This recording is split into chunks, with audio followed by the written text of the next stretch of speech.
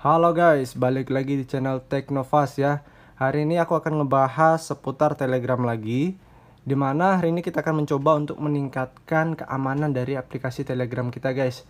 Supaya ketika ada yang pinjam HP kita uh, susah untuk dibaca ya, tidak bisa dibaca oleh si peminjam tersebut. Nah, caranya itu kalian bisa menambahkan dengan keamanan menggunakan Touch ID atau Face ID yang ada di HP kalian guys. Touch ID itu ini ya sidik jari itu ya sidik jari. Biasanya ada kalau HP Android itu ada di bagian belakangnya. Kalau Face ID itu biasanya menggunakan kamera bagian depan guys. Itu tergantung dari handphone kalian masing-masing ya. Nah di sini aku akan bahas do, untuk dua handphone yaitu Android eh Android dan iOS nah di sini pertama kita akan bahas tentang di iOS dulu ya di iPhone dulu. Contohnya seperti ini. Ketika kalian buka Telegram kalian akan diminta untuk Face ID Nah, kita coba buka ya. Cancel. Nah, terbuka guys. Jadi begitu ya caranya ya. Dan itu bisa diatur. Uh, ini kan kalau kita buka lagi tidak terkunci ya. Nah, itu bisa otomatis terkunci setelah 1 menit, 5 menit, 30 menit, 1 jam nanti itu bisa diatur. Nah, untuk Touch ID contohnya seperti ini guys. Kita buka aplikasi Telegram, diminta untuk uh, menggunakan fingerprint ya. Nah, kita coba ini di bagian belakang ada ya saya menggunakan HP Xiaomi. Nah sudah terbuka. Jadi begitu guys. Oke. Langsung aja kita mulai cara-caranya. Maaf ya kalau ada suara ayam ya. Pagi-pagi ini bos. Begini bos. Oke. Yang pertama adalah membuka aplikasi-aplikasi telegram kalian guys. Nah untuk di iPhone dulu nih pertama nih.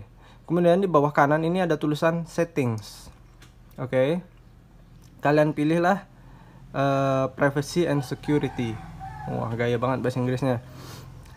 Privacy and security. Oke, cakep. Nah, di sini ada passcode and face ID, guys. Tulisannya di bagian atas.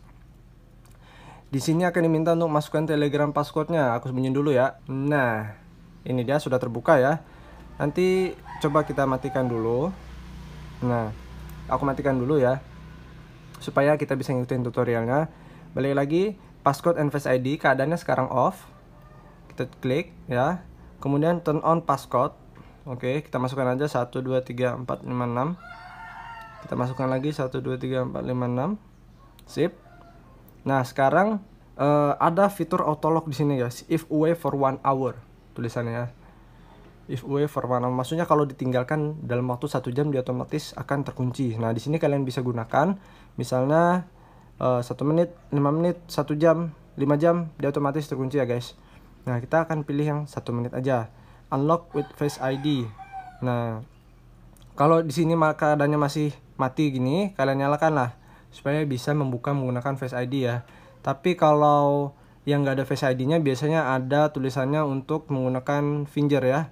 Finger. Kita coba nanti di HP Android guys. Nah, sekarang kita diamkan dulu satu menit sambil menunggu sambil kita lanjutkan dengan setting di HP Android guys. nah, untuk di Android sendiri, seperti biasa ya, kalian buka dulu aplikasi Telegramnya. Kemudian di atas kiri itu ada garis tiga, kalian klik aja. Nah, kemudian kalian pilih settings. Oke. Okay. Sama privacy and security.